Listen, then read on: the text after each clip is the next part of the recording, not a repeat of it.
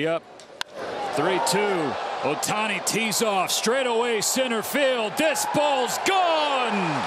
Power supplies power. Home run number 15 for Shohei. Gets the Dodgers on the board against Paul Skenes.